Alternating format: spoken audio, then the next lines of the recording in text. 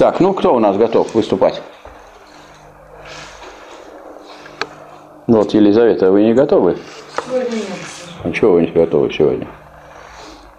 Чего вы откладываете это куда-то на завтра, на послезавтра? Человек вам предлагает, так сказать, выступить, потренироваться. Это хорошо или плохо? Хорошо. Ну, надо пользоваться. Потом пока посмотрят ваши, как вы выступаете, родственники. В следующий раз вам что-нибудь простят. Вы тоже не готовы, да? Не готовы. Так, ну что вот, э, что я хочу сказать по этому поводу. Ну, в тех случаях, когда вы не готовы, я вас буду заменять, как вы понимаете, но это худший вариант. Значит, как надо рассматривать э, классические тексты? Классические тексты – это тексты, в которых можно найти какие-то интересные мысли. Интересные мысли – это не обязательно такие мысли, с которыми сразу надо соглашаться. Или, может быть, наоборот, и не надо соглашаться, а надо им возражать. Но то, что если это люди достаточно глубокие, речь идет о классических текстах, они не случайно берутся. То есть мы берем не какие-то легковесные книги, а авторов, которые ну, составили такие произведения, с которыми связано определенное там, идейное течение или направление, или перевороты в научных взглядах. Поэтому в любом случае это полезно изучить, чтобы видеть и отличать серьезные такие глубокие произведения от всякого рода мелких, потому что, как сейчас говорят сейчас, очень много информации. Это правильно. Но информация и знания – это разные вещи.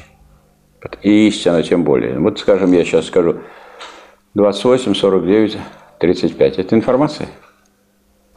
Информация. А какие тут знания? Никаких тут знаний нету. То есть при огромном количестве информации уровень знаний нельзя сказать, что он такой уж высокий. Вот. А начиная с того, что такое вообще знание, что такое истина. Вот что такое истина? Вот вы уже на третьем курсе Санкт-Петербургского государственного университета. Вот что такое истина, вы знаете?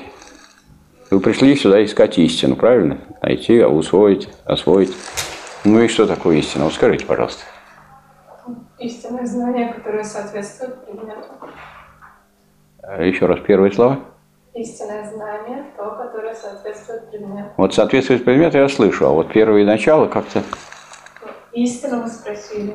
Да, истинное знание, то, которое соответствует. знание, которое соответствует. А что, бывает знание, которое не соответствует?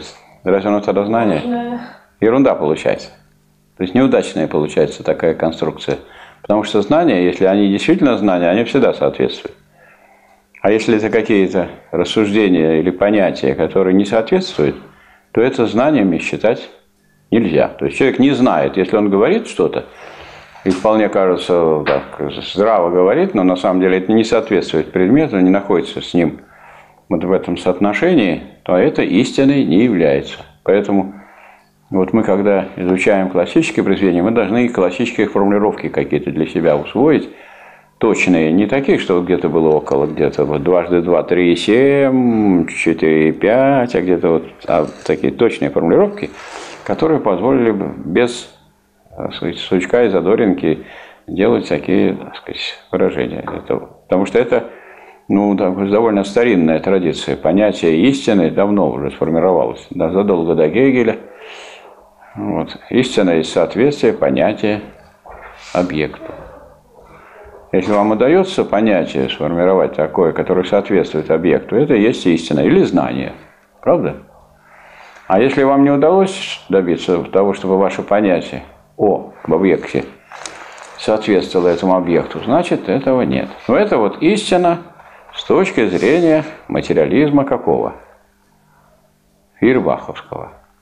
Вот, Фейербаховский материализм, как называется, созерцательный материализм, который состоит в том, чтобы так сказать, наблюдать мир и правильно его отражать. А если мы поставим вопрос о том, что вот сейчас вы выйдете, и сейчас как раз много воды, эта вода правильно отражает мир? Она тоже правильно отражает мир. Правильно? Вот вы придете, наклонитесь, и там себя и увидите. Но только то, что было справа, будет слева, а то, что слева, справа. Ну, это не так уже важно. Ну, в общем-то, в общем и целом правильно же отражает мир. Ничем не хуже этой воды отражает зеркало. Ну, мы, наверное, понимаем, что ограничиться вот таким познанием, которое сводится к тому, чтобы просто отразить тот мир, который есть, это значит не учитывать вообще особенности ну, вообще всего человеческого общества. Смысл-то человеческой жизни, человеческой деятельности в чем? В том, чтобы просто отражать действительность.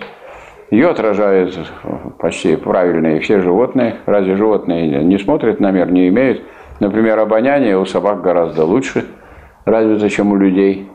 Зрение у орлов гораздо лучше, чем у людей. Правильно?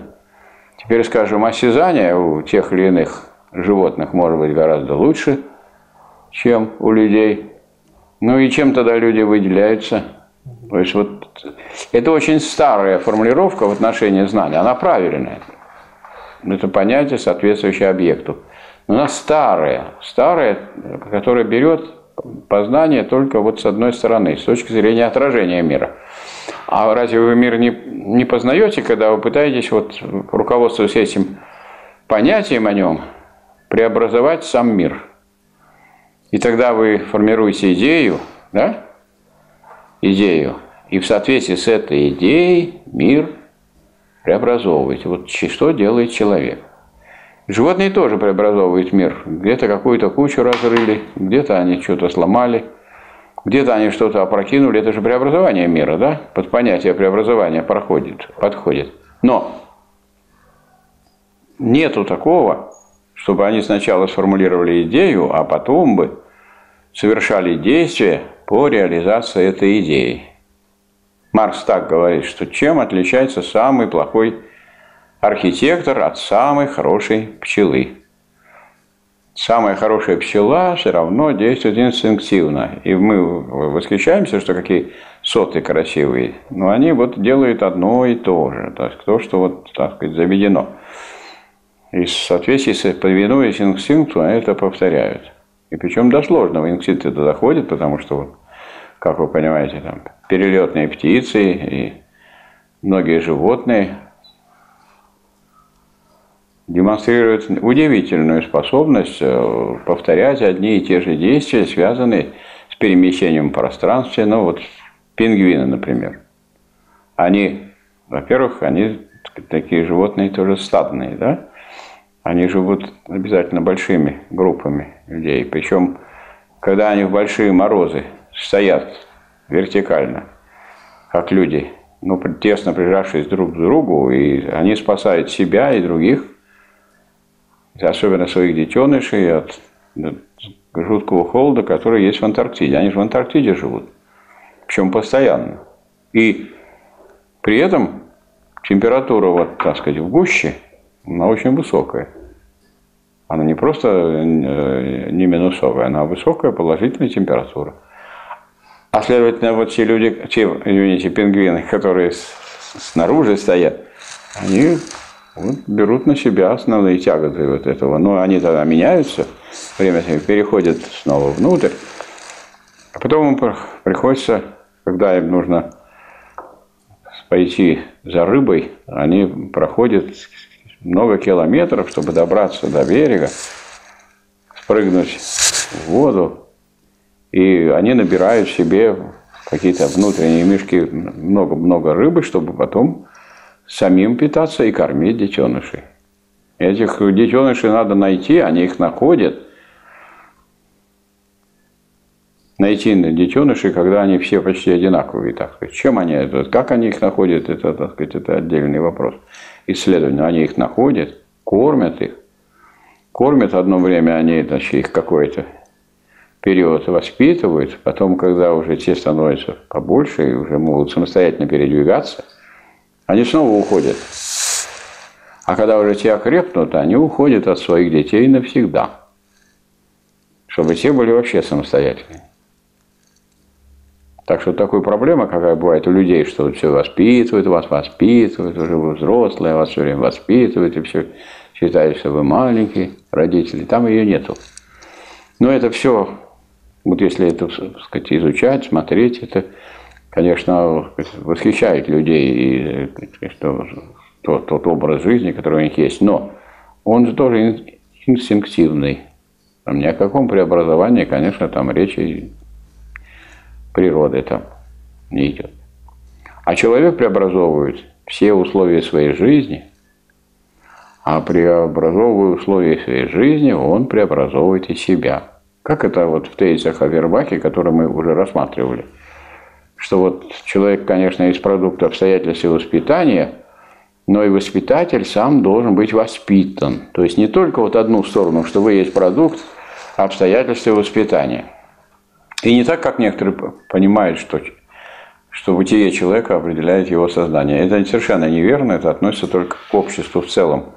Скажем, общественное бытие, тот способ производства, какой есть, определяет и сознание в, в рамках соответствующей формации общественной. А вот если мы берем отдельного человека, совершенно неверно, что бытие этого человека определяет его сознание. Он человек из продукта обстоятельств воспитания. Но это опять односторонний взгляд, от которого уже Гегель ушел от этого взгляда. Все-таки у него, хотя и в идеалистической форме, у него идея практики присутствует, и иногда считаешь, что это дело вот, только Маркса и Энгельса, что они подчеркнул практику, но Гегель же даже специально говорит о плуге, что он почтеннее, чем те зерна там, и пшеницы, которые достаются благодаря этому плугу. То есть он упор делает на производительных силах по существу, говоря уже более поздним языком. И э, венец его науки логики – это абсолютная идея, которая есть единство идеи теоретической и идеи практической. Называется идея теоретическая, идея, так она есть, сказать, идея отражения мира. И так и называется теоретическая идея, а практическая называется идеей добра или идеей блага. И они не берутся отдельно одно от другого, потому что когда человек своей деятельностью проверяет свое знание, он убеждается в том, что его знание истинное. Поэтому Позднее уже появились такие высказывания, которых у Гегеля нет, что практика – критерий истины. То есть, если вам удается в соответствии со своим пониманием мира его преобразовывать, значит, вы правильно его понимаете. А если не удается, значит, возможно, вы неправильно его понимаете. Может, вы его правильно понимаете, но не, неправильно действуете. Но возможно, что вы неправильно его и понимаете. А если у вас точно удается делать задуманное, осуществлять, значит, вы появляетесь понимаете его правильно. Иногда человек не может преобразовать мир всем, в соответствии с тем, что он задумал, по той простой причине, что он не учел противоположных тенденций, которые есть. Или, как говорят, гладко было на бумаге, да забыли, пора враги, а по ним ходить. То есть, если вы не учли, какие есть противоположные факторы, которые могут быть сильнее ваших усилий, то вы тоже можете попасть в ситуацию, когда ваша идея не реализуется. Или реализуется не сразу, или реализуется с трудом. Поэтому не такая простая вот задача выяснить, это дело в том, что идея плохая, или дело в том, что она может быть очень крупная, грандиозная, передовая, но все передовое наталкивается на сопротивление. Вот я хочу сказать, что есть такое интересное рассуждение у Сталина в его работе о диалектическом историческом материализме, где он говорит о борьбе нового со старым. Что вот все развитие совершается через борьбу нового со старым. А когда новое появляется, оно слабее старого или сильнее старого? Это вы так тут задумываетесь, как будто это сложный вопрос. Видели ребенка, он сильнее своей матери или слабее, грудной? Чего тут задумываться? Когда новое появляется, оно всегда слабее старого. И Гегель, например, говорит о когда новое появляется, оно появляется с фана... относится с фанатической враждебностью к широкой распространенности прежнего принципа. старого. А потом эта враждебность пропадает во многом. Но она в это время, и в то же время, это новое слабее старого. Слабее старого. А в борьбе кто побеждает, слабейший или сильнейший? Кто? Сильнейший. Поэтому, какова судьба реализации новых идей, любых, в технике, в науке, в культуре, в образовании, в политике, в идеологии. Вот сформулированы новые идеи впервые. Какова ее судьба? Будем считать, не, это, не такая новая идея, которая очередной глупостью является, потому что глупых всяких мыслей, в том числе и глупых идей, существует сколько угодно. Скажем, вот такая вот идея, которая широко распространенная, которую нынешний 86-летний Горбачев разносил, так сказать, по всей стране, состояла в том, чтобы перестраиваться. Здесь какое-то умное что-нибудь есть в этой идее? Вот нам сейчас вам надо выйти и переодеться. А потом, когда вы придете, снова надо выйти опять переодеться. А когда вы снова придете опять, и будете все время переодеваться, переодеваться, переодеваться, а уже и заниматься некогда. Изменение форм или реформирование, скажем, при Ельцине получило такое распространение. Что такое реформирование? Изменение формы. Ну а форма разве не связана с содержанием? Не может так получиться, что форму изменили и содержание изменилось. А в какую сторону изменилось? Об этом речи нет. Главная задача реформировать. Менять форму. Менять, менять, менять. А форма содержательная, смотришь, не стало того, форму чего меняли. Меняли, меняли формы, а производство упало вдвое в России нынешней по сравнению с РСФСР в 90-е годы вдвое. И раньше у нас рождаемость уверенно обгоняла смертность, а потом в 90-е годы резко образовался так называемый крест России, когда вот так пошла рождаемость, а вот так пошла смертность. Они пересеклись, и смертность превысила рождаемость. Ну а как сейчас с этим обстоит дело? А никак. Где-то вот на одном и том же уровне никто из руководителей государства нашего не может сказать, ну, наконец-то, благодаря нашим всем усилиям, правильной политике, развитию нашей экономики, заботе о, там, о женщине, матери и так далее, мы добились того, что у нас рождаемость превышает смертность. Можем мы это сказать? Не можем мы этого сказать. Вот результат этого так называемого пустого реформирования, которое оказывается не просто пустым, но и вредным, как всякое пустое. Поэтому, значит, этот реформаторский зуд, который состоит не в, не в том, чтобы вы спокойно, в тишине, скажем, сидели и работали, и думали над какими-то серьезными проблемами, и сделали из себя специалиста. А вместо этого все время что-нибудь меняется, перестраивается. Вот вы учились, вы поступали на философский факультет? А сейчас вы же где? Нет факультета. И, а в чем разница? Для вас в чем разница? А все поменялось, название, эти бланки, там столько, и деньги на это пошли. Ну, а, скажем, в деятельности преподавателя, скажем, моих, что думаете, изменилось? Вот нам сказали, напишите заявление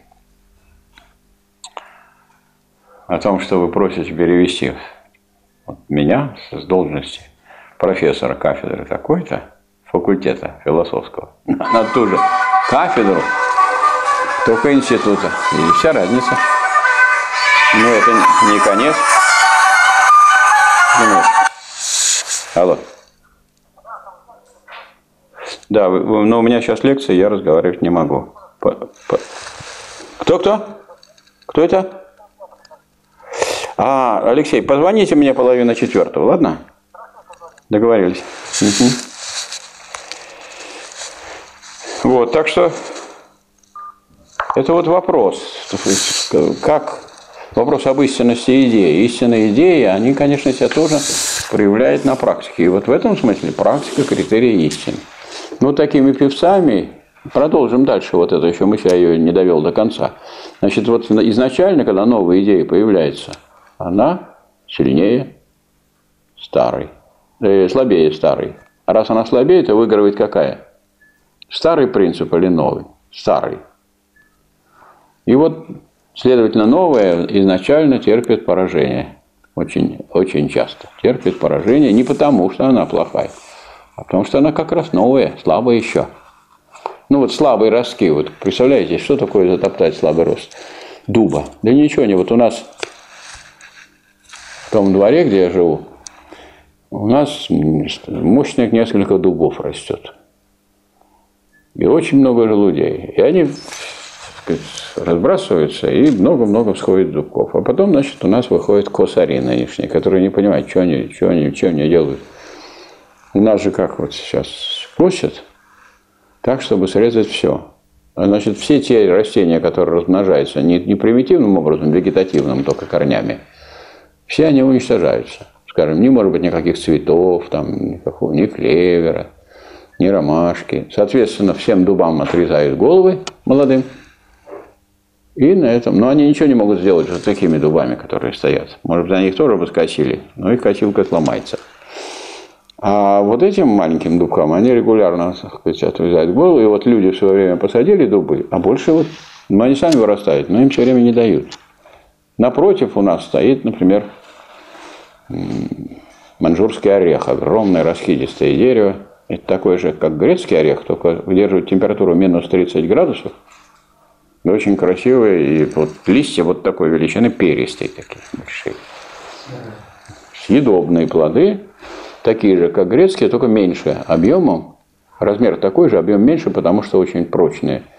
Оболочка, которую вот вы молотком не разобьете. Чтобы их раскрыть, нужно поставить так вот, как бы в эту складку нож и молотком сухнуть, чтобы они на две половинки распались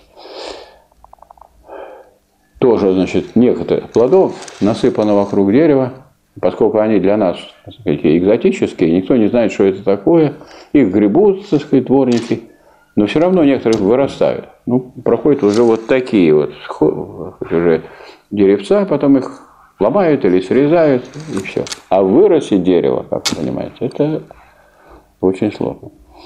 То есть и так везде. Какое-то новое задушить очень легко а вырастить очень трудно. И вот, и какова же судьба этого нового? Вот оно все терпит, терпит поражение. Но судьба нового, тем не менее, не так плачевна. Если оно новое передовое, оно в этих вот поражениях закаляется, оно приобретает дополнительную силу, и наступает такой момент, когда оно выходит на уровень со старым, а затем оно начинает его превосходить. И тогда и тогда старое отступает, и вот это новое, которое развилось и которое приобрело силу, начинает, так сказать, давлеть над старым. И вот тут хотелось бы нам прокричать «Ура!», да здравствует, устроить банкет, но появляется новое, по отношению к которому это вот новое, о котором мы все время говорили, является уже старым. Процесс начинается сначала.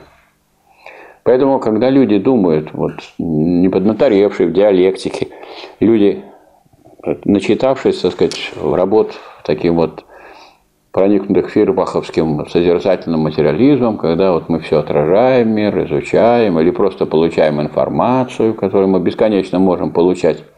Вот у меня в портфеле сейчас находится журнал «Эксперт», в котором статья вообще об экономике, о том, что вот 50 лет назад ввели конвейеры, и это дало колоссальный скачок роста производительности труда. Вот ввели гаджеты, и эти все информационные технологии, никакого значит, скачка производительности труда в экономике это не дало. А вот переговоров стало много разных. И все переговариваются, и переговариваются. Давайте будем переговаривать о том, как у нас плохо, и ничего не получается. Давайте будем друг другу звонить, по электронной форме писать, через WhatsApp или через Viber общаться. Давайте через контакт, еще через Одноклассники, через Facebook. И везде напишем, что у меня ничего не получается, а вы мне пишете, и у меня ничего не получается. Тогда мы выходит, что у нас у всех ничего не получается и так далее. Окажется, что идет такое бурное продвижение вперед, а на самом деле получается, как вот такой женщины, которая сказала мужу, что я тут на 15 минут к соседке выйду поговорить, а ты через каждые два часа помешивай суп.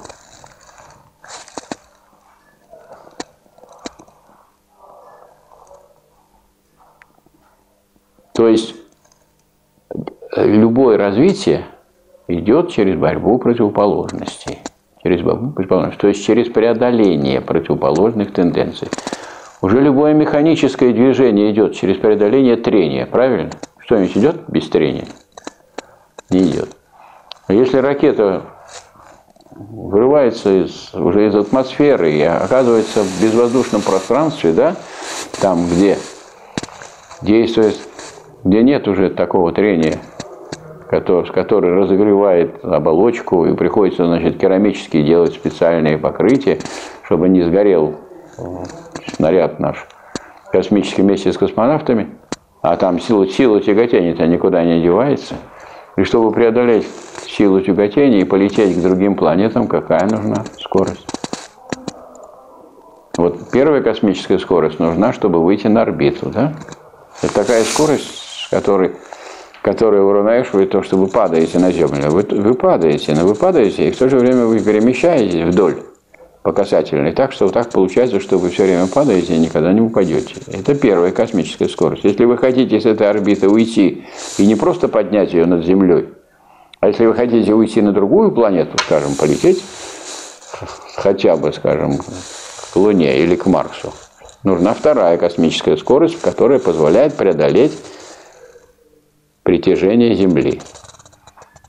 Ну, это вот физический пример. А разве что-нибудь есть у нас без этого самого, без преодоления? Вот у нас идут занятия, вот товарищи должны тут присутствовать и заниматься, а им трудно преодолеть какие-то обстоятельства. Будем считать, что уважительные. Тогда уважительные трудно преодолеть обстоятельства. А возможно, неуважительные. Ну, вот, скажем, два конфликтолога поехали на соревнования по конфликтологии, на конкурс в Казань. А остальные вот, выслали своего представителя. А если неуважительные, Э, задача-то какая состоит в том, что, э, ну, скажем, если здесь вот сидели бы люди и читали бы более высокое, чем то, что мы изучаем, это было бы нормально. Я сам так делал, когда был студентом. Я читал на занятиях по политэкономии «Капитал». Ровно два тома «Капитала» я прочитал только на, на, на занятиях по политэкономии во время лекции и семинара. И когда ко мне подходил преподаватель, да что вы там читаете? Я говорю, читаю «Капитал». Да, спокойно так. Время-то оно же конечно. А если речь идет о том, что не используется вот это золотое время, которое есть студенческое, оно же никогда не вернется. Для того, чтобы в это время с очень большой скоростью нарастить тот капитал знаний, который будет использовать всю жизнь. Не говоря уже о том, что тот школьный капитал, который мы имеем с вами, поскольку нам приходится потом действовать в какой-то одной сфере, а во всех сферах мы остаемся на уровне школьного образования – этот капитал тоже остается тоже на всю жизнь. На всю жизнь. Вот поэтому, скажем, мы находимся в обстановке, когда терять на это время нельзя. Но это знание это не такая вещь, которую надо открывать рот и запихивать так. У нас тем более не, не тюрьма, где тем, кто объявил голодовку, могут принести пищу и даже в пищевод сделать туда соответствующую трубку и кормить чтобы они не умерли, потому что это не надо этим самым организациям, чтобы у них кто-то там умер. Но здесь-то мы не можем этим заниматься. Отсюда и вот, скажем, те люди, которые приходят на занятия и занимаются, они должны их использовать, чтобы вырасти. Поэтому я вот вас еще раз ругаю. Так, ну как я могу вас ругать больше? Ну так, только по, по-хорошему, по-дружески что не надо, так сказать, упускать такие возможности, и надо, вот, надо заниматься собой, в том смысле себя развивать. Вот сейчас то, что является задачей вашей и ваше индивидуальное развитие, оно совпадает с общественной потребностью, правильно? Есть потребность в том, чтобы были люди с хорошим высшим образованием? Есть. То есть дело, вы как будучи как бы эгоистами, которые думают о том, как себе лучше подготовиться и так далее, вы выполняете важную государственную задачу. От вас ничего другого не требуется сейчас. Правильно? Вот. Поэтому вот эта идея, идея довольно новая вообще в философии, начиная вот когда состоялся переход от, вот так, от такого созерцательного философского взгляда э, к преобразующему. По существу он начался уже с Гегеля, но в идеалистической форме. То есть, когда Гегель разработал свою диалектику, он ну, уже и разработал такие понятия, которые позволяют уже материалистически истолковывать и, и реализовывать то, что он сказал. Если у него абсолютная идея, это идея теоретическая и практическая идея. Это венец вообще его науки логики. Ну а что касается Маркса и Энгельса, они вот являются как раз теми людьми, которые не просто это взяли, сохранили ядро это, замечательное, которое есть у Гегеля, они его противопоставили и самой э, идеалистической философии, и, и фейербаховскому материализму, и создали материализм диалектический. Много ли у нас людей владеет диалектическим материализмом? Могу вам доложить, как специалист в этой области, единицы владеют диалектикой. Хоть какой-нибудь идеалистической или материалистической. А что касается следующего крупного открытия, которое было сделано Марксом и Энгельсом, это применение вот материалистической диалектики к истории, а вот мы уже успели в прошлый раз сказать, что мы знаем только одну науку, науку истории, правильно? Что такое наука? Она, в раз... она вся относится к человеческой деятельности. Она вся изучает либо непосредственно человеческую деятельность, либо изучает условия человеческой деятельности, как науки о природе, правда? Вот все, скажем, науки технические, технически изучают э, уже практическую деятельность человека. А если вы берете там, физику, химию и так далее, они изучают условия жизнедеятельности человека. Можно сказать, что мы изучаем человека, если мы занимаемся теоретической физикой. Можем сказать, что мы изучаем историю? Можем. Потому что это история идей. Идеи, а идеи – это неотъемлемая часть вообще человеческой жизни. Вот, скажем, если я бы поставил задачу изучить товарищ Татлепскую, Елизавету, как бы я подошел к этому? я бы сначала ее изучал саму по себе. Обычно этим все и кончается. Вот я бы ее изучал, изучал, там, что она думает, что она говорит, что она воспитывалась, что она собирается делать и так далее. Я бы все ей давал, подсовывал анкеты, она бы их все заполняла, потом я бы брал у нее интервью, мы бы беседовали и так далее, и так далее, и так далее. И вот я бы все это закончил. Изучил я вас тогда? Как вы считаете? Нет. Нет. А я знаю, что нет. Почему? Потому что на самом деле изучение любого человека и любого предмета сводится не только к тому, что его непосредственно изучить. Еще надо изучить, как другие люди на вас воздействовали в течение и воздействуют, правильно? Какие у вас были родители, бабушка, дедушка, какие у вас родственники, какой, какие люди вообще на вас повлияли, которые, может быть, там два раза вы их встретили, они что-то такое сказали или сделали, что отложило отпечаток на всю, на вашу жизнь, на ваш характер. Правильно? Но это я закончить могу на этом изучении? Елизавета Татлевская? Не могу. А что я должен сделать еще? А, а как же я могу на этом закончить, если я не изучил, как Татлевская, Елизавета, воздействует на своих товарищей, как на своих родителей, на тех, с кем она общалась, на тех, кого она встретила там здесь, в студенческом коллективе, и на то, как она собирается вообще вести всю свою деятельность. То есть люди кончают изучение человека, обрубив ему руки, ноги, так сказать, взяв только вот его непосредственно как оторванного от общества от, и общественной деятельности. То есть изучать его не как человека, а просто как ну, вот такое вот высокоразвитое животное. Это неправильно. Поэтому я еще раз хочу сказать, что нам с вами крупно повезло, что мы имеем возможность в рамках учебного времени, а не в рамках того, что мы там сделали какой-нибудь курс, отдельно еще добавляем. В рамках учебного времени выделено государством достаточно много времени, чтобы мы окунулись в мир мудрых мыслей. Мир мудрых, для того, чтобы окунуться в мир мудрых мыслей, надо взять в качестве предмета – вокруг которого идет это обсуждение, ну, что-то такое содержащее достаточно много крупных мыслей. Не для того, чтобы этим ограничиться, правильно? А для того, чтобы у нас ну, была опора и э, известный уровень, что это вот, скажем, речь идет о философии, которая сыграла и играет колоссальную роль в человеческой истории. Ну, по крайней мере, полтора миллиарда человек в современном мире руководствуются этой самой философией как государственной идеологией. Так? Это что? Это Китай, который имеет 17% ВВП мирового, а Соединенные Штаты Америки имеют 15% мирового ВВП.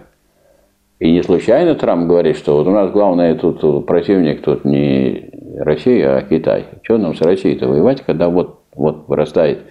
Причем темпы роста американской экономики низкие. Низкие, около двух. А китайской были очень высокие, сейчас 8. Но они крупнее, чем уже по объему производства, чем США. А темпы роста выше. Дальше – а Вьетнам, в котором 92 миллиона человек, а Корея, которая уже построила низшую фазу коммунистического общества, а Лаос, который в 1975 году закончил свою длительную борьбу против французских, э, американских завоевателей и создал самостоятельное государство. А Куба, которая, так сказать, непосредственно в подбрюшье у Соединенных Штатов Америки создала самостоятельное социалистическое государство. Но это же наш мир, в котором мы живем. Мы же живем не в капиталистическом мире, мы живем в мире, в котором основная масса государства, основное количество населения живут при капитализме, а полтора миллиарда человек уже живет в другом мире и руководствуется этой идеологией. Давайте мы это не будем значит, изучать, и не будем знать, а чем они руководствуются. Мы должны вот это вот учитывать, где мы живем или нет? Ну вот я думаю, что вот то, что такой курс нам так сказать, выдан, и которым мы должны этим заниматься, это есть некое отражение, реакция на то, что ну, мы не можем закрыть глаза и не видеть, что тут происходит. Причем соотношение сил все время меняется в пользу вот этих стран. Почему? Да потому что у них темпы роста выше, и поэтому они вырастает быстрее. Не так давно, в 2014 году, еще у США было больше, чем у КНР объем вала внутреннего продукта. А сейчас у КНР больше, чем... И дальше этот отрыв будет увеличиваться. А дальше мы наблюдаем такие явления очень интересные, что создаются удивительные такие э, компании международные, союзы, как, например, БРИКС. Что такое страны БРИКС? То есть вот есть крупнейшие империалистические страны, там известные, которые имели колонии или которые проводят однозначно империалистическую политику по подчинению других стран своим интересам. А есть крупные государства, крупные буржуазные государства, которые не хотят быть жертвами вот этой самой агрессивной политики, такие, например, как Индия. А в Индии сколько человек живет? Как его данные, Олег? Вроде уже к миллиарду приближается. Сколько? Вроде к миллиарду уже приближается где-то 980 миллионов. Да ладно. Уже за миллиард двести давно уже дошло, а вы еще приближаетесь к миллиарду. Это говорит о чем? Что у нас вот мы как-то все время голову у нас повернуты на запад, а ситуация сейчас другая. Ведь там идет бурное развитие. В Индии бурное развитие. У нас есть авианосец, вот, например, в России? Нету. Ни одного. А в Индии есть? Есть. Историю могу рассказать. Очень простая. Авианосцы у нас строились как раз перед 90-ми годами. Потом в связи с разрушением Советского Союза разделили все, что у нас есть. Байконур, который построил Советский Союз, он стал казахским. И мы теперь в арен, арендуем тот космодром, который строили всем Советским Союзом. И деньги платим. Но поскольку эта ситуация не очень хорошая, вот мы, мы имеем еще космодром Плесецкий. Но этот космодром Плесецкий, он далеко от экватора, там-то сложнее выводить на орбиту космические аппараты. И поэтому построен космодром в Восточном. Уже первый запуск состоялся. Вот. А, ситуация такая, что на сегодняшний день Россия уже пять лет единственная, кто выводит на Международную э, космическую станцию МКС, возит астронавтов, это российские корабли, Союз.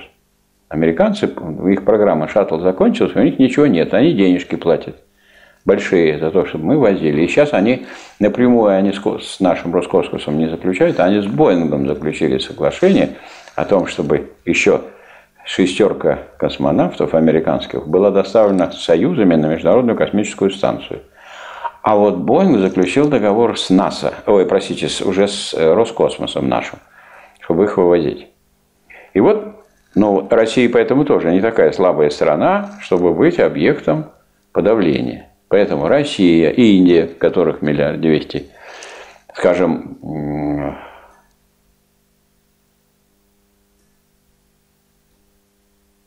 сейчас в Латинской Америке, Бразилия, крупнейшая страна, быстро развивающаяся. Бразилия, которая тоже не хочет быть под пятой и американского капитала.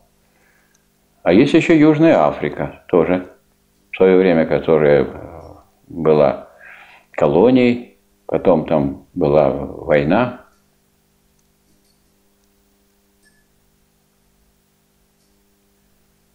черных с белыми.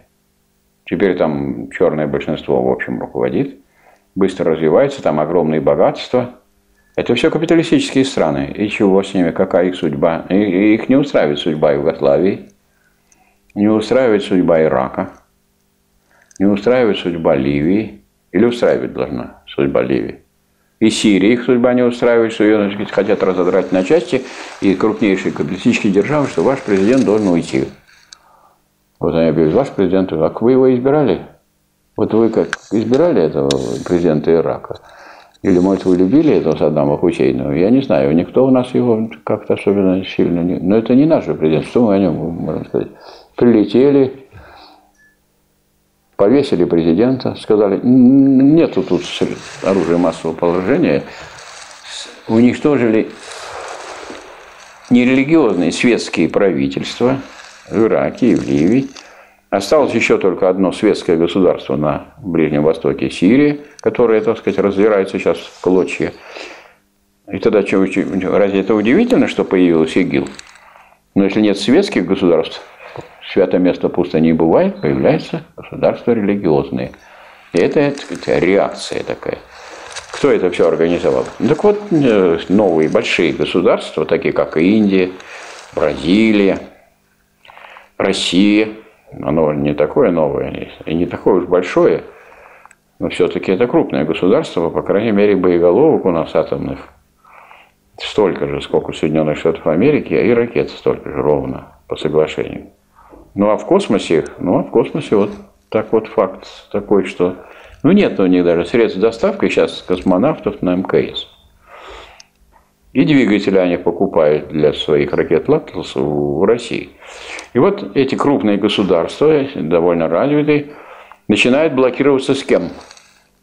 Чтобы защититься от этой самой подавления и от экспансии американской. Они начинают блокироваться с Китаем. Вот вы можете видеть, как называется. Что такое БРИКС? Бразилия, Россия, Индия, Китай и Сауф Африка. Южная Африка, БРИКС. Что это такое за образование такое? Не видано, не слыхано. Капиталистические страны соединились с социалистическими. Когда это было последний раз?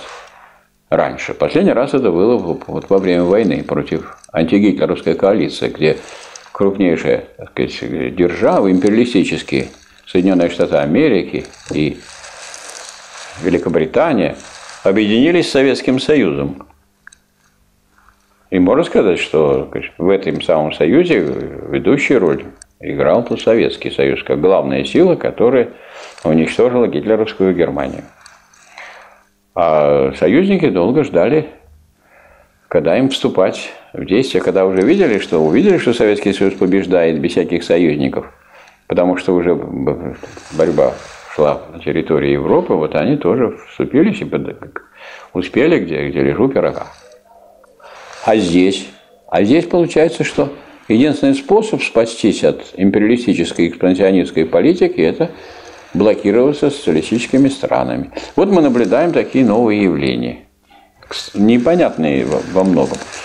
Вот, но э, и это тоже причина, по которой, э, ну, скажем, серьезные организации там, и серьезные университеты не могут делать вид, что это современный мир, он только буржуазный. Ну, какой есть, значит, надо изучать. Вот. А у нас есть идеология государственная в России? С помощью товарища Ельцина значит, мы получили конституцию, в которой вообще нет государственной идеологии. Никакой. Мы не знаем. Вот, может, вы разработаете, вот, какая вы распространите, она и будет.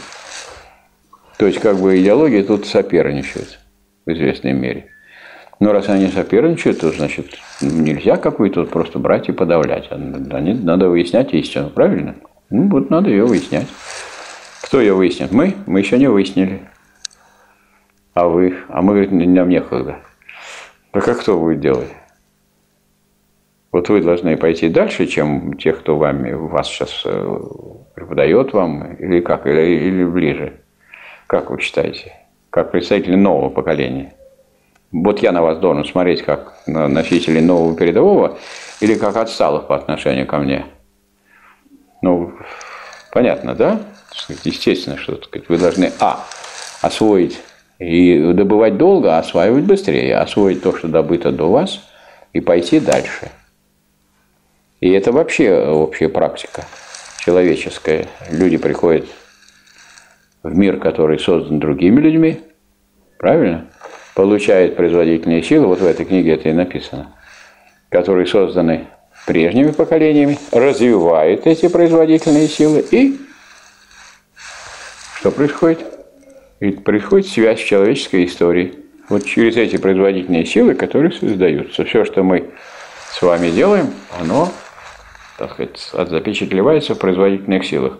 Причем производительные силы, они двоякие. Есть главное производительное человека. Вы воспитывать будете человек, людей. Их наполнять их головы новым знанием, истиной и так далее. Это одна сторона производительных сил, главная причем производительная сила. А средства производства материальные, которые связаны с технологией, связаны с естественными науками, со всеми. Эти средства производства, взятые на вооружение новыми, новой производительной силой обеспечивает дальнейшее развитие истории. Историю кто делает? Историю мы с вами и делаем. Вы делаете историю? Ну, а что так медленно вы делаете историю? То есть вот, э, ну, как я понимаю, вот этот курс дан для того, чтобы мы как-то не мельчили, а так по-крупному относились к себе, к э, своему обучению, к своим делам и так далее. Я не в порядке шутки с вами спрашивал насчет того, что вот вы хотите что-то написать. Ну, надо начинать тогда и пишите, вот придумайте тему и пишите себе книгу. Потом куски этой книги будете давать в виде курсовых, в виде своей коллекционной работы. Вас будут заставлять, чтобы вы это там засовывали в блэкбот, которая никому не нужна и так далее и всякие сложности придумывать, отзывы всякие, через другого вуза надо на вашу работу. Вот теперь недостаточно, вот у нас, видимо, не хватает профессоров в университете оценить вашу работу. Нет, надо еще вам бежать и искать кого-нибудь на стороне, чтобы студентов Санкт-Петербургского государственного университета оценили кто-нибудь из Института профсоюзов или из Университета космического приборостроения и так далее. Ну так сейчас сделали.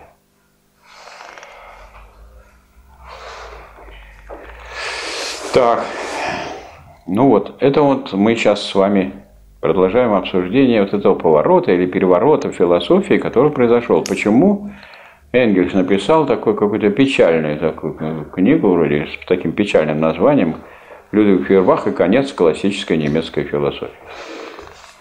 То есть в каком смысле конец? Ну, то есть вот как созерцательная теория, философия закончила себя как созерцательная теория, которая только отражает мир.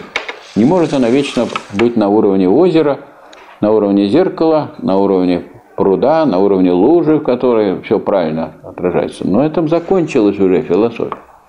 Теперь нужно не, не отражать то, что вы видите, а нужно сказать, иметь философию, философию деятельности. Философия преобразования – философия практики. А вместо этого мы иногда видим философские практики. То есть, когда слово «практика» применяется явно не для того, чтобы изучать практику, а наоборот, всякого э, мудрствования и всякие дискуссии называть практикой. Никакой практикой это не является. Это является, так сказать, в известном мере словоблудием. А вот действительная практика остается тогда за кадром. Что, вот точно так же, как я вас, вот Елизавета про вас говорила, чтобы вас изучить, так же и вот изучить философию нельзя без влияния ее на, на этот весь мир, да, на производство, на людей, которые имеют другие специальности совсем, вовсе не философы. Потому что мы не изолированы от, от остальных членов общества люди. Но нам повезло, мы как бы составляем такой вот ядро людей весьма просвещенных, ну, при соответствующей работе. Просвещенных в плане устройства общества, в плане всех общественных отношений. И вот мы тогда отвечаем за то, чтобы они в целом двигались в верном направлении, и та борьба, которая есть, разрешалась бы не в пользу реакционных тенденций, а в пользу прогрессивных. Но для этого надо как минимум различать, что есть прогресс, а что есть регресс. И даже различать сами эти понятия. Вот я сейчас вас спрошу, вот вы, наверное, против реакции, а что такое реакция? Что такое регресс? Можете сказать? Не можете? То есть вы как бы приходите, мы совершаем, допустим, я что-нибудь реакционное совершаю, вы смотрите, слушаете, внимаете, вместо того, чтобы бороться, сопротивляться.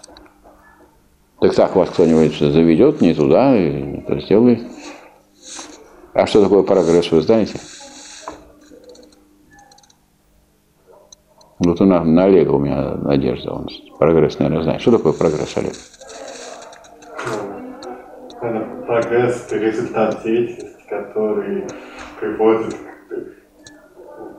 к изменению, к преобразованию. То есть я взял вот э, молоток и стукнул вас по голове. Это точно приведет к изменению и преобразованию. Вас раз в больницу, а меня раз в тюрьму. Качественно новому. Это новое. Вы раньше говорите, вот сидите, а так будете лежать головой. Качественно новое. Это же качественно новое, не просто количественное, а будете лежать. Ну как?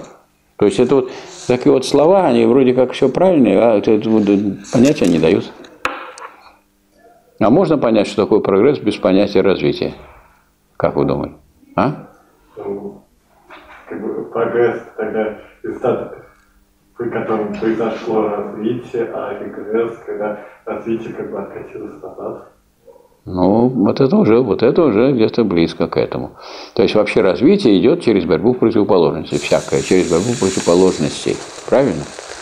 Никогда не бывает. А что такое вообще развитие? Вы знаете, что такое развитие? Может, развитие что-нибудь плохое? Вот я вас спрошу, вы что такое развитие? Это такие ядовитые вопросы, скажем. Вот вы же в университете, уже третий курс, а вы что такое развитие, это знаете, нет? У вас какое отделение? Музеология. Музеология. Ну, музеология, она же ценности. То есть то, что ценно для развития, то оно собирает. А то, что они никакой... Вы же не собираете, сколько ногтей настригли в прошлом году. Знаете, сколько настригли? Тонны по всему миру. Тонны. Не надо их собирать. То есть, чтобы вот что связано с развитием, то вы себе, э, на что нужно опереться, чтобы пойти дальше, правильно? Так что такое развитие? Ну, это мы вот, то есть, поймите меня правильно, я не собираюсь, так сказать, вам указывать на эти недостатки, как некие ваши внутренние дефекты. Нет, это совершенно нормально.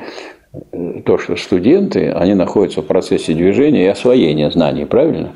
Поэтому то, что вы чего-то не знаете или чего-то не делали – это не вина. Скорее, больше вина так, тех, кто преподает.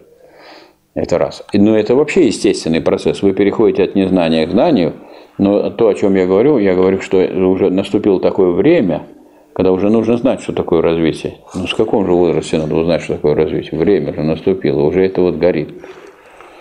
Причем определение развития, вот у, мы же изучаем классические, у классиков очень простое – Развитие – это движение низшего к высшему, простого к сложному. Уж проще его просто и... Ну, что тут его запомнить? Но наша ведь задача состоит не в том, чтобы просто запомнить. У нас для этого есть там флешки, у нас есть диски, у нас есть память компьютер. можно записать, но надо, чтобы это было в голове, потому что есть какие-то... Узл... Вот что такое категории, в отличие от, вообще от понятий? Категории тоже понятия, но есть узловые понятия, без которых нельзя ничего понять как следует. И вот эти узловые понятия, их надо, они должны быть у нас в голове, а не только на бумаге. Не так, что я вас спрошу, а вы останетесь и начнете листать. Где это записано у меня? В голове должно быть развитие. Как это? Как я не знаю, что такое развитие? Это же сам, вы же находитесь в процессе развития. Как вам не знать, что такое развитие? Вот движение низшего к высшему, это понятно. Простого к сложному. А что такое сложное? Кто что скажет? Елизавета, скажите, что такое сложное? Объясните простому человеку, что такое сложное? А? Иначе я с вами буду конфликтовать, если не объясните. Ну, сложное, ну, как это? И тогда и развития не знаю. Что такое сложное? То есть вот что показывает вот мой уже анализ, или наш совместный анализ, что у нас э, некоторые ключевые понятия, они ну, не являются еще таким главным инструментом нашей, так сказать, вот, умственной практики, да? Главным инструментом. Что, тем более, что я вот сейчас вам скажу, что это такое, и вы будете и надо мной смеяться, над собой. Значит, сложное, это сложенное из простых. Ничего другого в этом нет, ничего, это элементарная вещь. Сложно, это сложно. Так прямо в словах уже так записано. Ну правильно? То есть накапливается, накапливается еще сложно. Есть простые понятия, самая простая точка там математики. И не надо ее никогда определять, ее не определите ни за что. Она не сложена ни из чего. А есть сложные понятия. Да двигаться надо вот из изучения от простого к сложному мы с вами, если мы обнаруживаем, что какие-то категории не, не освоены, не поняты, поэтому мы ну, в известном смысле потребительски относимся вот и даже к этой работе, в известном смысле. То есть это для нас хороший повод поправить, так сказать, свои, ну, свою систему категорий, чтобы в ней не было дыр таких. Ну что, я не знаю, что такое развитие. Развитие движения низшего. Иногда говорят, от низшего к высшему, от простого к сложному. Тогда получается, что есть простое, есть сложное и какое-то третье, которое двигается от простого к сложному. Вот что получается. Это неправильно. А надо, чтобы само простое переходило в сложное. Правда? Так вот, этот переход сложный, я уже говорил, он идет через борьбу противоположности. Это, это уже не определение развития, а это просто констатация факта, добытого, так сказать, наукой, что никогда простое, сложное, без борьбы, без противоречий, без противоположностей не переходит. Никогда. Поэтому настроение такое, что если, ну вот, все должно быть само собой, хорошо. Сейчас все решится, разрешит, так не бывает. Никогда вот этот дом стихийно создан быть не может. Есть замечательные э, вот, картины природы, видите скалы, там, изумительной красоты, в них отверстия даже есть, да? Какие-то шхеры и так далее. Ну так, чтобы вот такие был, вот был бы коридор, и в нем были бы вот такие аудитории с окном. Это не может быть в природе. То есть это может быть, это же в процессе борьбы делается. Это надо бороться с теми, кто отступает от размеров. Потому что двери не будут закрываться, окна не будут, нельзя будет вставить оконные рамы. Есть стандарты и так далее. А надо бороться с теми, которые песок взяли, а цемент туда не положили. Вот помните, был, был, была большая беда в Армении, в Скопле, там очень большие были разрушения после землетрясения. А в чем дело? Только в землетрясении нет, просто те дома, которые разлетелись, это были дома, в которых песок был, а цемента почти не было. Они на, держались на честном слове. Раз и и мы сейчас наблюдаем. Вот идешь и смотришь по городу, отлетают части, элементы. Почему? Украден цемент. Или видите вот это вот, если вы пойдете по этим самым шашечкам, которые сейчас делаются вместо асфальта. Вообще, если не говоря уже о том, что это шаг назад, потому что вот асфальт делается так, едет машина, раз и готовы уже покрытие. А тут сидят гастарбайтеры и деревянным молоточком по песочку их там забивать. А потом что? А потом мы видим, что в них образуются дыры, они рассыпаются, разваливаются. Там, так сказать, женщины, которые ходят на, на каблуках, они вообще рискуют сломать себе ногу на этом покрытии. Причем, если асфальт зимой, если вы упали, то он там таких не дает тяжелых, так сказать, ушибов. А вы посмотрите, там, а эти скользкие эти шашечки эти люди. Причем везде вот вместо, посмотрите лестницу вот в нашем старом здании, вы идете, у вас нога не скользит. А вот кто-то придумал, хороший человек, в кавычках, придумал э, брать э, керамические плитки, с которых люди летят, особенно если они вот где-то вход в какие-то здания, в нашей, в России, это, может быть, в Европе это нормально, там, где дождичек идет, а мороза нет. А тут дождичек и мороз, и вам гарантированы перелом. Например, вот у нас есть доцент Иванов на нашей кафедре. На последнем заседании кафедры заявляет заведующий, объявляет, что доцент Иванов вышел из своей парадной, тут же сломал ногу, шейку бедра, и раньше, чем через полгода он не вернется. И еще неизвестно, чем это закончится. Это только начало, так сказать, этой болезни. И это же мы потом значит, начали, вот мы видим, потом действительно идут от простого к сложному, начинают накрывать какими-то резиновыми такими штуками, их присобачивать. Да. Потом они эти, эти, эти резинки начинают отваливаться и так далее. То есть всякое развитие, оно идет через борьбу. И здесь тоже борьба. И вот тогда, тогда, значит, раз идет борьба противоположности в процессе развития, значит, борьба двух тенденций. Одна тенденция связана с переходом простого в сложное, да? А другая, Олег, переходом сложного в простое. Правильно? А раз так, раз две эти тенденции действуют, их нужно назвать. И вот эта тенденция в развитии, в развитии, которая представляет собой движение низшего к высшему в развитии, называется прогрессом. А вот в развитии тенденция негативная, которая составляет переход высшего к низшему или сложного к простому, разложение сложного на простое, называется регресс. А в общественных делах и науках называется уже не просто регресс, а как? Как? Реакция это называется. Реакция. Наступили годы реакции. А в политике это может быть, или там вот э, в строительстве, так сказать, общества, это может быть реставрация, да? Реставрация монархии. Вот сделали республику, а потом раз и монархисты победили. Появилась реставрация. Реставрация уже как бы этап завершения уже она завершается, когда делается так вот, это реакция.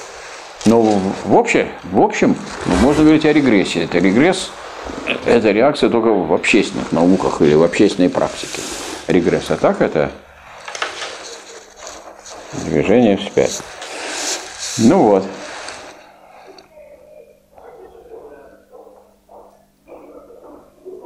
И это относится, скажем, и к той же самой деятельности, которая э, является образовательной. Вот вы, перед вами какая задача? Вы двигаетесь от простого к сложному, и там религовец, который начинает с чистого бытия, он находится в процессе становления. Правильно? А какие в становлении имеются моменты? Какие противоположные тенденции? Один называется возникновение. Вот религовец возникает. А противоположный момент тоже есть. Во-первых, забываете то, что вы учили. Уже этого достаточно, чтобы увидеть противоположную тенденцию. Во-вторых, это связано с известными провалами, там, пропусками в том или ином изучении. Ну, допустим, есть вот вы какая-то есть цепь доказательств, а кто-то не присутствует где-то при этом. Ну, у него дырки получаются в голове, и он становится догматиком. Он заучивает какие-то куски. А дело-то не в кусках, а видеть это надо все выведение, правильно? А я могу много набрать кусков. У меня будет в голове вся голова из кусков. Как Ленин писал про Каутского. Он говорит, прекрасно знал произведение Маркса и Энгельса. У него в столе или в голове был ряд деревянных ящичков, где все цитаты из произведений Маркса и Энгельса были разложены. Деревянные ящички в голове. Нам деревянные ящички нужны или нам нужно видеть, как это одно из другого вытекает. То есть, потому я хочу вам сказать, что у меня, например, механической памяти нет, я не могу запомнить, если я не, не знаю, как оно из одного с другого выводится. Вот эти прогресс и регресс, как это запомнить? Это так легко запомнить, когда вы знаете, что вся борьба, все развитие идет через борьбу. Раз борьба, то есть позитивная тенденция, есть негативная тенденция. А позитивная – та, которая совпадает с направлением развития, негативная, которая противостоит этому направлению. Значит, вы таким образом это можете запомнить. И прогресс, и регресс, и развитие. И одно связано с другим. А если вы уберете это, разорвете эту связь, в ну, несвязанные вещи закладывать в голову, ну там будет вот такой вот чемодан для... Не будет это вот. Музеологи должны думать и о порядке в музее, чтобы они как показывали это движение и развитие, правильно? А не так, что вот посмотрите, это вот это, а это вот это, а это вот это. Ну так вот так и на человека как надо посмотреть, мы уже обсуждали. Не просто какая вы есть, вот фотография. Ну так фотография на паспорте. И что? А надо, а надо посмотреть, как на вас действует, как вы действуете, на практику вашу, на деятельность и так далее. Так, ну хорошо. Значит, давайте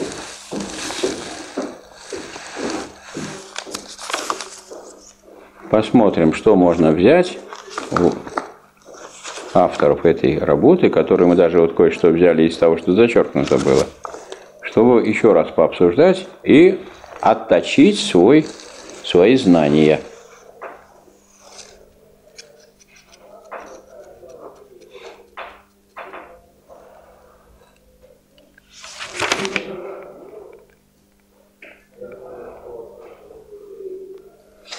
Вот смотрите, это интересно сами Маркс и Энгельс были младогегельянцами, и вот они говорят, что младогегельянцы разделяются старогегельянцами их веру в то, что в существующем мире господствует религия, понятие всеобщее. А всеобщее уже относится к философии. Но одни восстают против этого господства, как против узурпации, а другие прославляют его как нечто законное. Кто прославляет? Старые гегельянцы. Ну, дескать, устроен мир хорошо, и не надо его менять.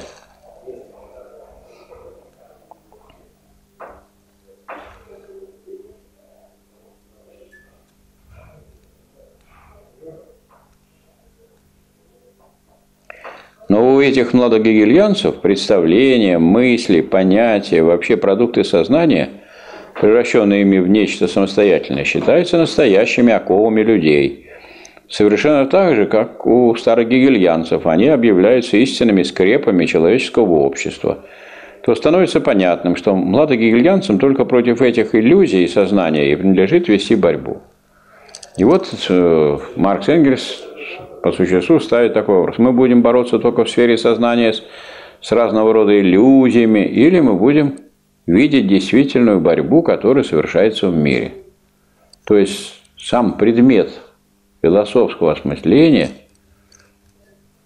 он расширяется до того, чтобы включить в него всю человеческую деятельность, всю человеческую практику, а не только те иллюзии, которые есть. Я могу вот с вашими иллюзиями бесконечно спорить, а вы с моими взглядами можете тоже спорить. И это что будет? А давайте посмотрим на человеческую практику и посмотрим, как это все отражается на человеческой практики и какой взгляд, и как, и каким образом способствует развитию, а какой не способствует развитию, а способствует деградации, то есть регрессу или реакции.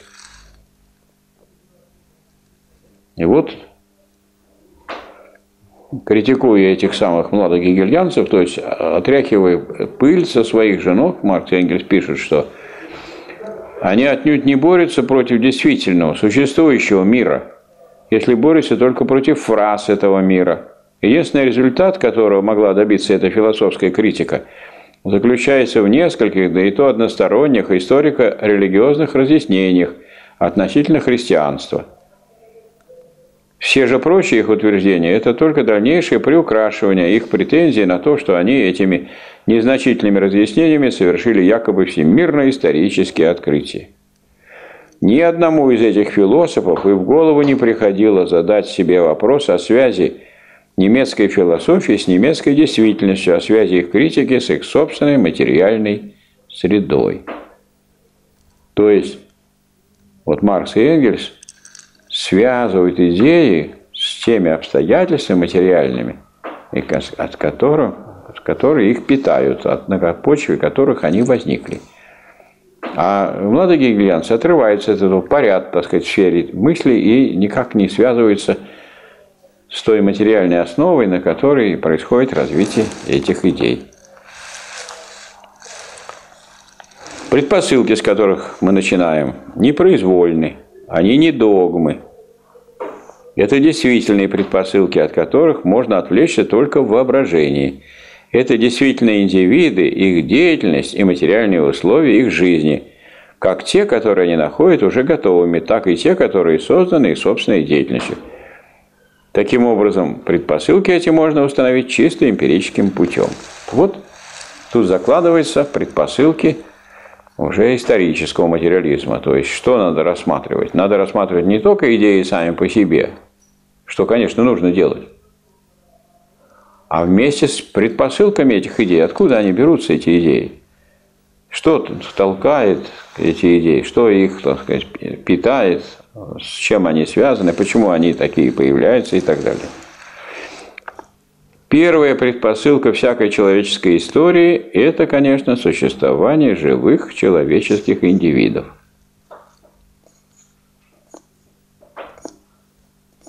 Ну, то есть, вот, как бы Маркс говорит, нельзя же говорить только об идеях, а надо еще говорить о людях, которые эти идеи создают. И о той практике, в ходе которой создаются эти идеи. А что такое живые человеческие индивиды? Это не те индивиды, которые берутся так, как портреты, а те индивиды, которые ведут свою практическую деятельность. А в чем они? Чем они занимаются? Они производят непосредственную жизнь. А непосредственная жизнь производится каким образом? Производятся люди, во-первых. Почему? Люди все смертны, каждый по отдельности, а человечество вечно и бессмертно. Правильно?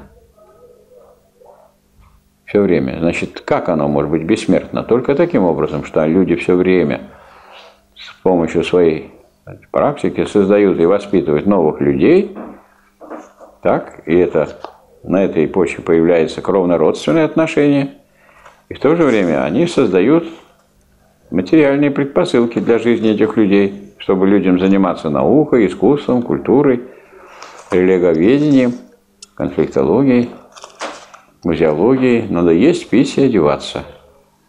Так? Хотя похоже, что вот это вот наше нынешнее государственное руководство не вполне выучило это и думает, что можно вот выдать стипендию 1480 рублей, и пусть думают о музеологии, о религоведении, а не о том, как у нас был еще студенческий такой стишок. Кто не был студентом, тому не понять как хочется кушать, как хочется спать. Но это, же, это вопрос, так сказать, э, если мы говорим о живых людях, живых индивидуах, они же должны создать науку, они должны создать соответствующий теоретический, идейный базис, но он же не может быть без материального базиса. Ну хорошо, что есть тут столы, стулья, тепло, светло. Но есть еще и другие обстоятельства, которые нужно учитывать.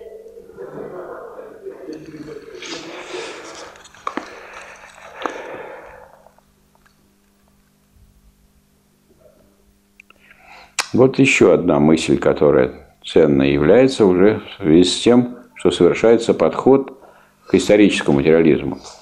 То есть к материализму, примененному к истории, к людям. Людей можно отличать от животных по сознанию, по религии, вообще почему угодно.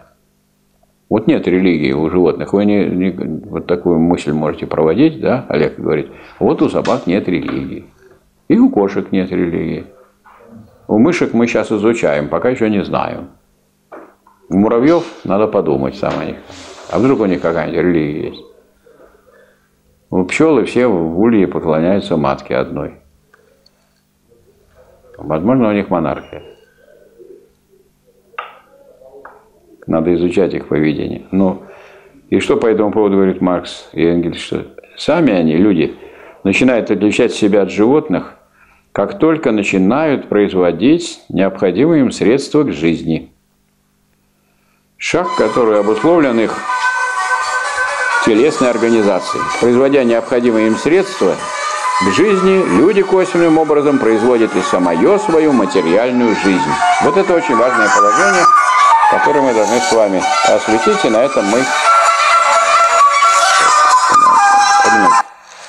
Алло. Алло. Здравствуйте.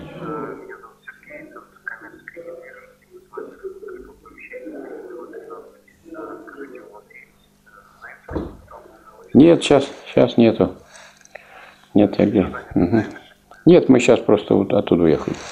У меня сейчас лекция, я прошу прощения, не могу говорить. Ага, ну счастливо. Так, так вот, это вот идея, можно сказать, грандиозная, что люди производят свою собственную жизнь. То есть не просто вы там что-то идет производство, кто-то что-то делает. Мы производим тем самым жизнь. Да? Кто производит непосредственно жизнь? Непосредственно жизнь производит А. Родители, которые производят детей. И Б. Те, кто занимается материальным производством. Почему материальное производство выделяется из всех видов труда полезных. Не потому, что кто-то важнее, кто-то нужнее, вот не по этому принципу, а потому что это материальная основа существования общества, человечества. Для того, чтобы общество существовало, для того, чтобы оно могло действовать, для того, чтобы можно было заниматься наукой, искусством, искусством, чтобы сказать, религию развивать или наоборот религию изучать научным путем – для этого нужно создавать постоянно, воспроизводить материальные блага. И это нужно делать постоянно. И вот это производство и воспроизводство материальных благ, как?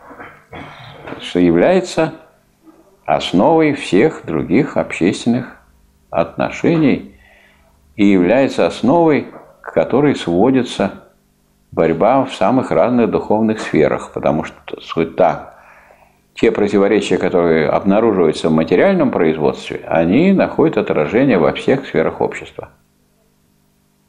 А как это происходит? Чем это опосредствуется? Вот это опосредствуется тем, что, э, как и тем, что было такое сделано открытие великое французскими буржуазными историками Тьерри, Минье и Гизо, что в основе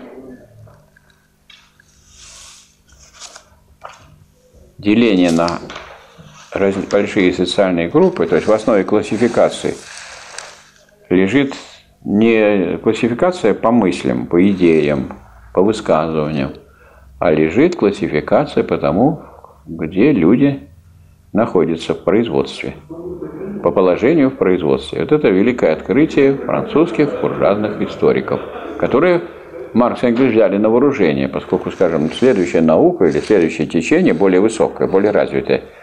Оно, если оно сложное, то оно сложено из простых. И они прямо и говорят, из чего сложено. Это и немецкий, немецкая философия диалектическая, это и гегелевская, раз. Это три источника и три составных части марксизма. Это английская политэкономия, тоже буржуазная, Адама Смита, Рикардо, Мальтуса. И это работа научных социалистов, которые дорогу правильно показывали, угадали будущее развитие, а пути к этому будущему не указали. И силы той не указали, которые к нему может привести. А эту силу нужно найти в современном обществе, они выдумывают ее в виде некой идеи.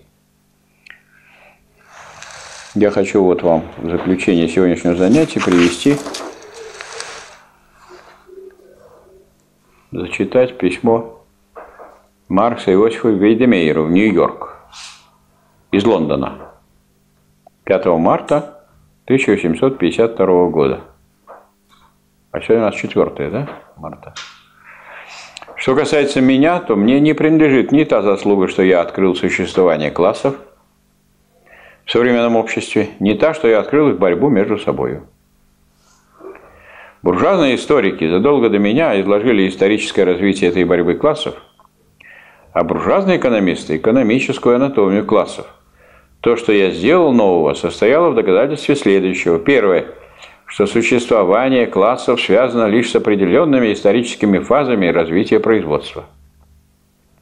Второе, что классовая борьба необходимо ведет к диктатуре пролетариата. Третье, что эта диктатура сама составляет лишь переход к уничтожению всяких классов и к обществу без классов. Это собрание сочинений Маркса и Энгельса – Издание 2, том 28, страница 424-427. Вот какое высказывание Маркса о том, что он сделал. Он, так сказать, вот как раз от, открещивается от того, что ему приписывают, а ему приписывают, что Маркс разработал классовую борьбу, что Маркс открыл классовую борьбу, Маркс разработал теорию классов. Не-не-не, это, это, не я сделал. Это сделали французские буржуазные историки, а экономисты английские, это все, все анатомию раскрыли этой, этих классов. А я вот сделал раз, два, три, все, что он сказал. Так, ну, значит, с учетом того, сказать, значения этого курса, значит, я ожидаю, что вы мои, сказать, моим призывом на них откликнетесь, да? Поклянитесь, что в следующий раз будет уже у нас тут выступающий. Ну, кровь не надо обязательно, вот кровью не обязательно расписываться, но надо выступать и двигаться дальше. Ибо это задача движения кого? Студентов. От низшего к высшему. От простого к сложному. Иначе получается, что этот курс сделан для моего развития. Я буду высказываться, я могу высказываться, я могу говорить 24 часа в сутки, и, как вы понимаете, мы профессионалы и можем этим заниматься. Но не в этом задача нашей занятия. Вопрос есть ко мне? Нету. Спасибо за внимание. До следующего понедельника, да, теперь? Мы с вами теперь встречаемся вообще два раза в неделю можно сказать, не расстаемся. Не разлей вода.